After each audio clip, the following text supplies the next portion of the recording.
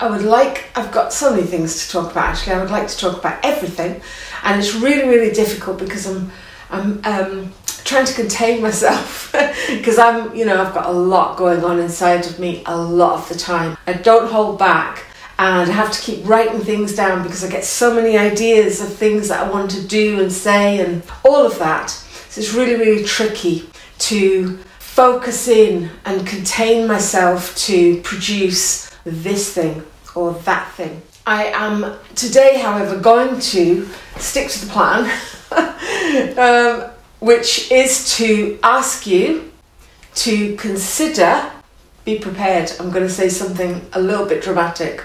I am inviting you to write your own obituary.